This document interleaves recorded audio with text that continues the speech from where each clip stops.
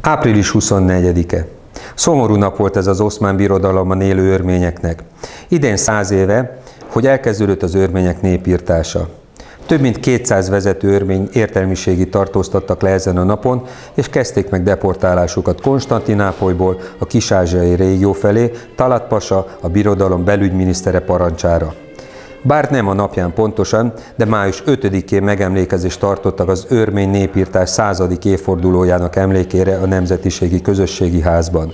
Egy filmvetítéssel emlékeztek erre az igen szörnyű cselekményre. A vetítéshez kapcsolódóan beszédet tartott Avanesian Alex, az országos örmény önkormányzat elnök helyettese.